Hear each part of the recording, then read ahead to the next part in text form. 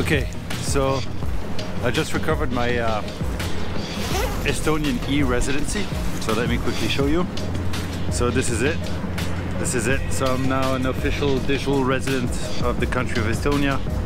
But uh, anyways, now that I got that, I need to take the train back to Zurich. I'm trying out these e-scooters.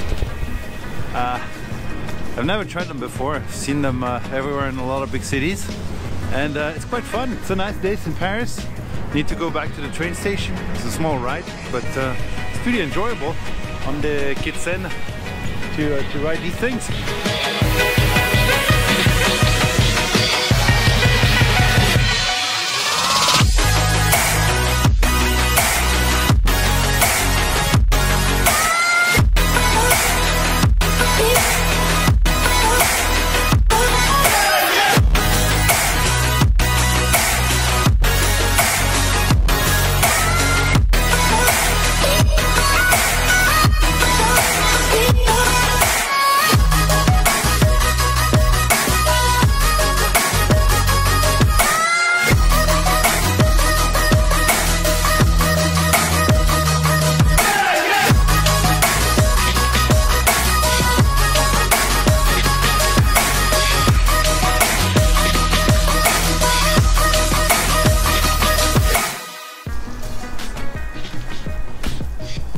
wonder how far I can go with it.